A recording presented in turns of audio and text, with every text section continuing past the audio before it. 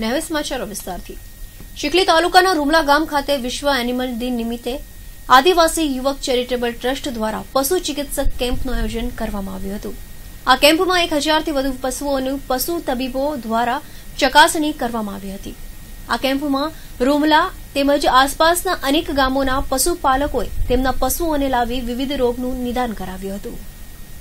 Trust જે આ- આજનો વિશ્વ એનિમલ કેમ્પ દર વર્ષે મેગા એનિમલ એક વર્ષમાં એક હોય છે. આ એજમાનો આજનો વિશ્વ કેમ્પ રૂમલા ગામ, જિલ્લો નવસારીમાં આજે રૂમલા ગામમાં કરેલો છે. જેમાં અત્યાર સુધીમાં રજીસ્ટ્રેશન લગભગ બાવીસો ત્રેવીસોની ઉપર રજીસ્ટ્રેશન પશુ સારવારના આવી ગયેલા છે. તે ઉપરાંત અત્યારના લગભગ નહીં નહીં તો દોઢસોથી વધારે સર્જિકલ કેસ અત્યારના નોંધાઈ ગયેલા છે.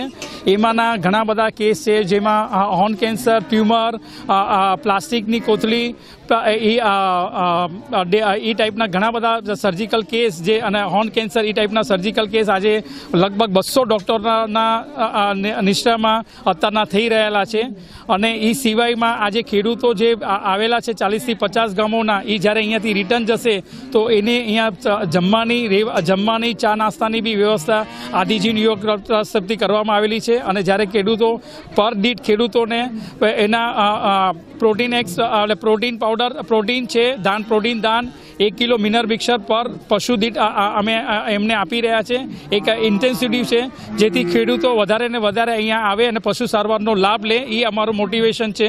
અને એ પ્રમાણે આ બધા પશુઓ અત્યારના આવી રહ્યા છે અને આ કેમ્પ લગભગ સવારથી લઈને સાંજ સુધી ચાલશે.